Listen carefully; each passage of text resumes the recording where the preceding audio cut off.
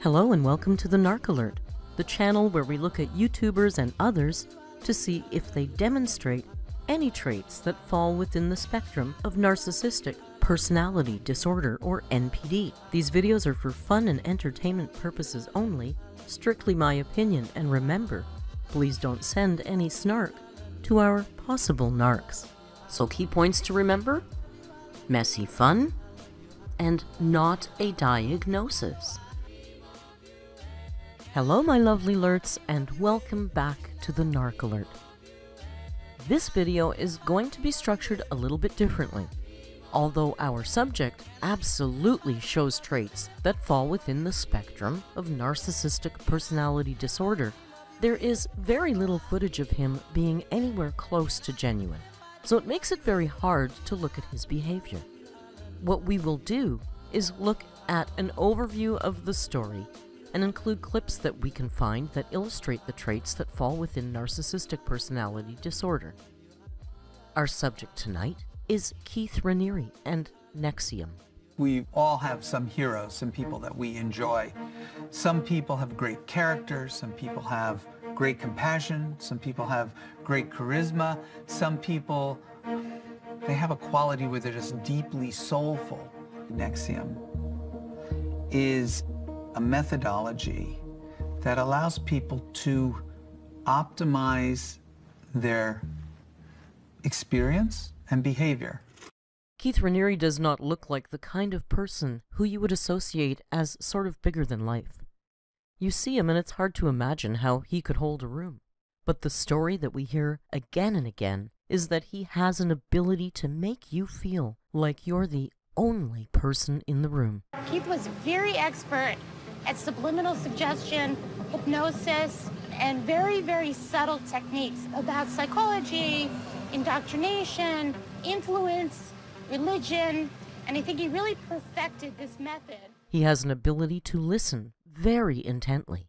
And that was one of the strong draws for people who wanted to come to him for their personal development and personal growth. The number of signs and characteristics that go right back to his teenage years and into his early 20s are very much central to what NXIVM became. One of his ex-girlfriends said, you know, he had this idea when he was 13 years old, that he was enlightened. He had reached some higher state of being. The image of himself that he continued to espouse as the head of NXIVM is not only the idea of his enlightenment, but also that he's a genius. Yeah, you said once it gets you to the source of your genius and the source of your create your insecurity. Mm-hmm. How how is the source of your genius the same as the source of your insecurity? Well, it's if you uh, knew everything and could do everything, mm-hmm. then you'd be a very predictable machine. He's created a kind of mythology around himself that he was talking in full sentences at the age of one and could read completely by the age of two. He was also a self-proclaimed piano prodigy and judo champion. The mythology that he's built around himself of being a genius, of being enlightened, was key. A lot of people mentioned that's what attracted them to join his organization, to follow this guy. The other element that goes right back to his 20s is that he has a particular infatuation with multi-level marketing. We've been able to concentrate all this purchasing power, literally hundreds of thousands of buyers, to get a better deal from the sellers. Right. They're going to at least, at least, at least do this. So what's going to happen on the average with this structure? It's going to perpetuate, right. It's going to go and go because on the average this works. We felt people who became affiliates and recommend us to friends should be rewarded, should earn something for their recommendations. Restaurants don't do it, but we do, and we call it word-of-mouth income. He worked for a while for Amway and seems to have been inspired by what he saw there. So when he created NXIVM, that's how the organization was structured, that the members of NXIVM went out and recruited other people, and they earned commissions. It was one of the ways the organization could grow. His view of women and his view of sexual relationships with women is also a major factor in the whole thing, and there's a really strong misogynistic undertone to NXIVM that people are taught that there are inherent differences between men and women, and one of those differences is that men are naturally polyamorous. They need to have multiple partners, and women are naturally monogamous. Going back to his 20s, Keith Raniere already had polyamorous relationships. He had relationships with a number of women who were solely devoted to him and were okay with him having multiple partners. In 1998, over a four day period, Keith Raniere and Nancy Salzman, who was an expert therapist in the world of linguistic programming, created what is now known as NXIVM. Within it, Keith Raniere is the spiritual leader, a resident philosopher, and he's called Vanguard. Nancy Salzman is called prefect. As the resident philosopher within the organization, he becomes a renunciate, which means he renounces all his connections to material goods. He doesn't own a car. He claimed in one interview he doesn't even know what shirt he's going to wear the next morning as they're donated to him from the community. NXIVM DOS was created by a group of women in the organization as a self empowerment group by women, for women, and everyone was a part of it. The FBI, however, has a different story about what happened. The FBI claim that DOS was created by Keith Raniere, and he set up a kind of pyramid scheme that he was at the top, so he recruited in the system. He recruited six slaves and instructed them to go out and recruit six slaves of their own, and it would branch out that way and she starts telling me about this thing called DOS. She believed that the other NXIVM programs couldn't push me to become truly empowered like DOS could. Allison told me that Keith had no involvement in this. She said it was women mentoring women in a very specialized, deep way. The FBI alleges that he used the system to instruct women within the DOS system to sleep with him. He also used the system to get people within the DOS to work for free for the organization.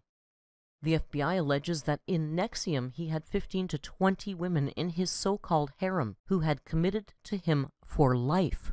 They were committed to be with him only, to have sex only with him, and to keep that relationship secret. They were also okay with him having relationships with multiple women. The FBI named Allison Mack as a co-conspirator. She was charged with sex trafficking, conspiracy, and racketeering conspiracy, amongst a number of other charges. She was implicated in the creation and the running of DOS. The FBI allegation is that Allison Mack is the co-conspirator on this project, and that she was one of Keith Raniere's personal slaves. They also allege that she herself recruited other slaves to be part of DOS.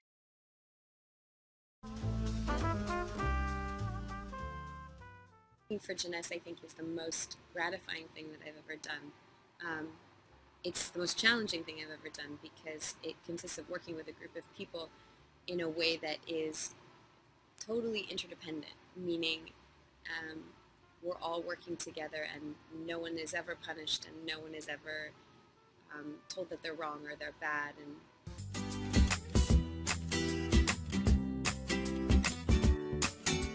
This next question is awesome. It's if happiness was the national currency, what would make you rich? And I think the answer to that question is uh, bringing together people that I love the most in order to have a good experience somewhere doing something. I love like putting together dinner parties. I love going traveling to, with people. I love organizing spaces and experiences with the people that I care for the most that cultivate um, good relationships. So when I first came into Jness, I had just come out of a relationship and I was feeling very scared and lost and confused and like, oh my gosh, am I going to be single forever? Am I ever going to be able to have a relationship? What's wrong with me? like, ah, all this stuff. And uh, very shortly into the, the program, I started to recognize and experience that what I was looking for wasn't about a relationship. What I was looking for was about an experience of myself in my life. So before Jness, I had tons of people around me all the time. I've always been a people person. People used to come visit me in my house and say they were going to Camp Allison because it was like, it was a party. All, everywhere I went, it was a party. Um, but I felt very lonely.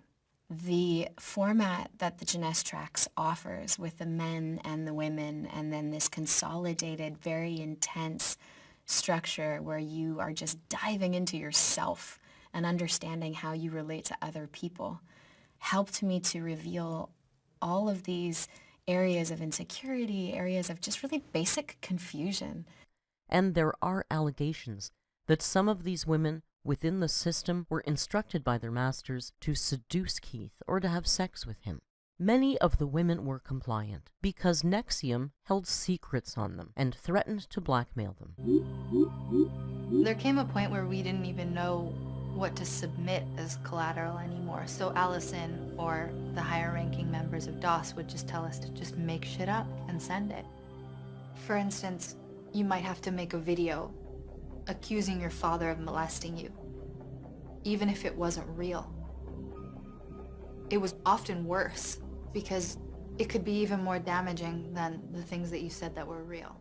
Whenever they showed hesitation, there was threats of exposure.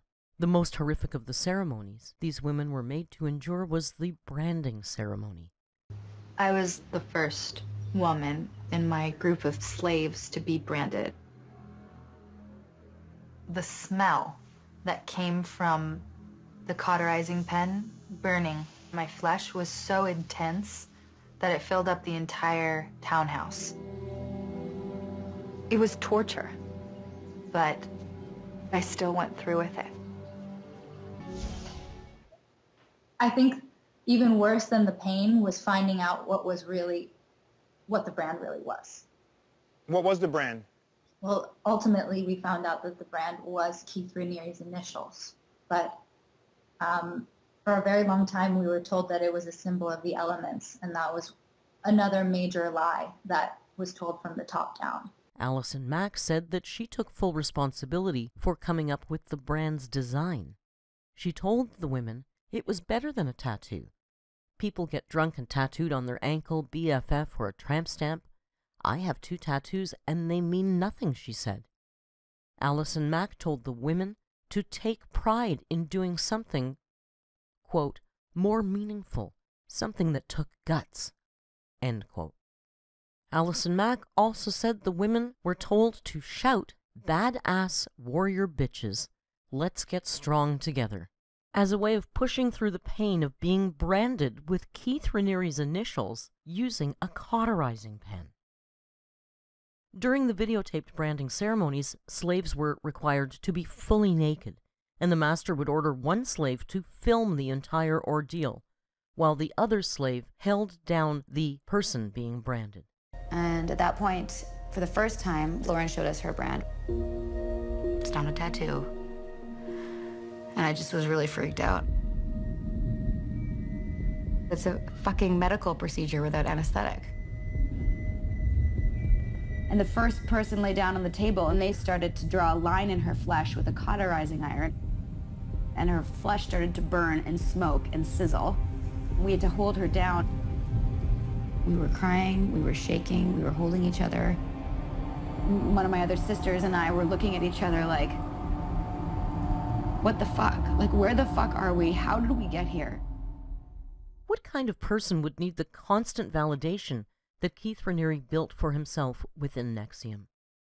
The way it manifests itself is that in every single scene or workshop you take, there's a photo of Keith Raniere on the wall, and part of the course is that you think about Keith Raniere. And then every year there's a 12 day celebration for his birthday, where people get up on stage and perform for him and wish him happy birthday and thank him.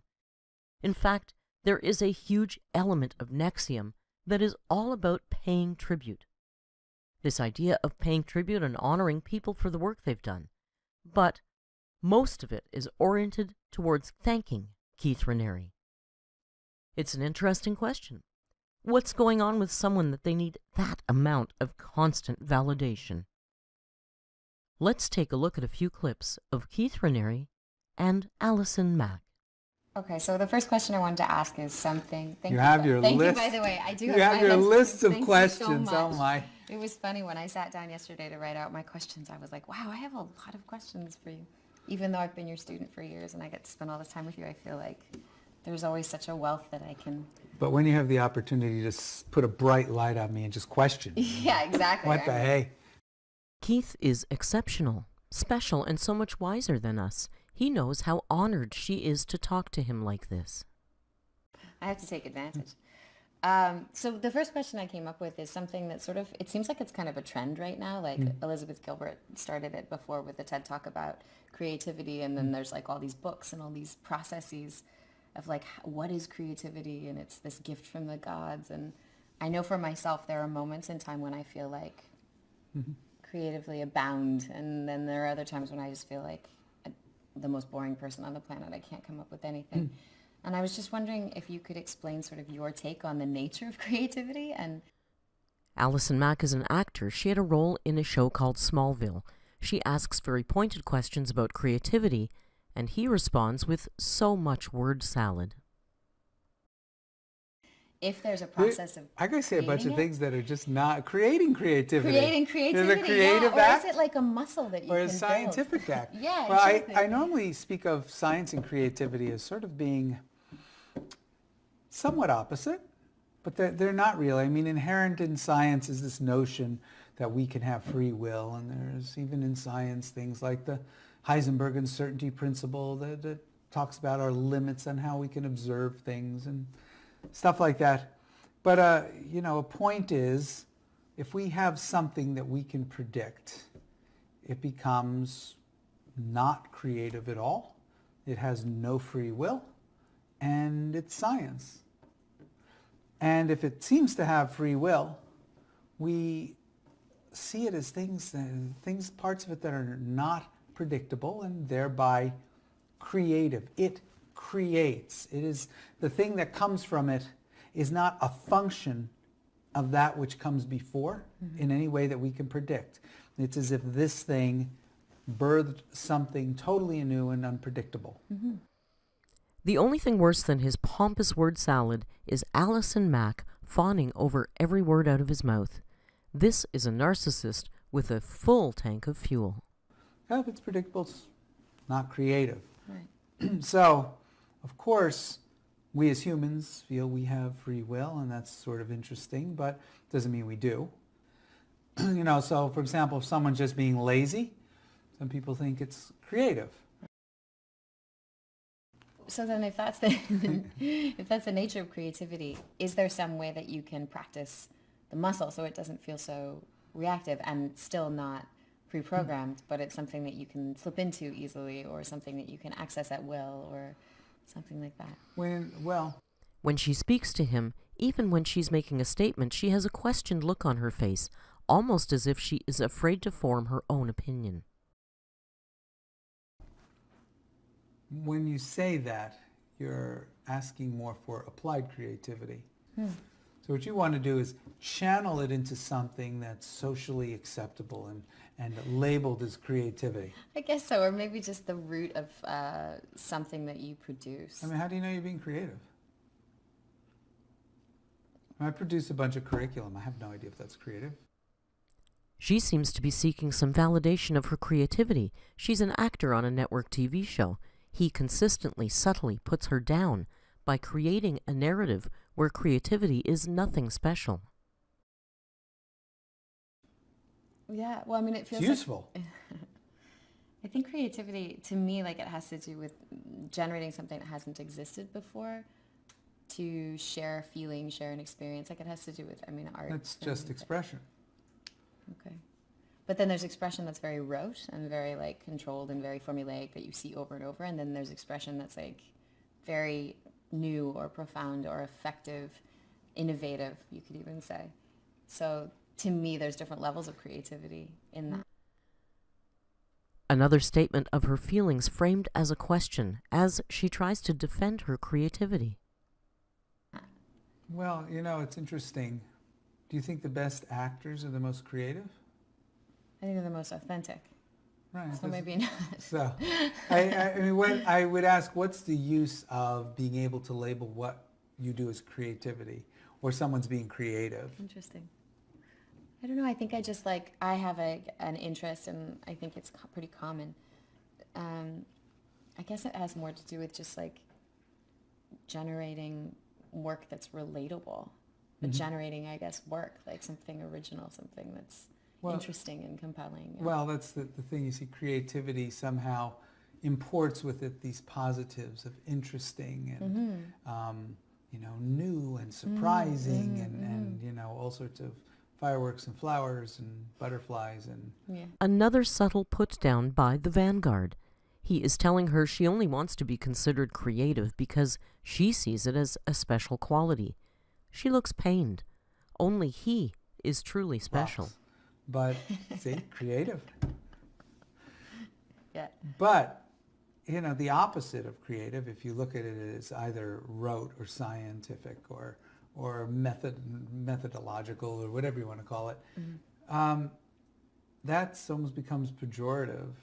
That person's not creative. Oh well, then what are they? Well, they're boring. Right. No fun. You know what, Keith? We think you are no fun, and that's putting it mildly. On June 19th, in 2019, the jury found Raniere guilty on all charges after five hours of deliberation. He was found guilty of sexual exploitation of a child, sex trafficking, identity theft, trafficking for labor and services, conspiracy to alter records for use in an official proceeding, and sex trafficking conspiracy, forced labor conspiracy, racketeering conspiracy, and wire fraud conspiracy.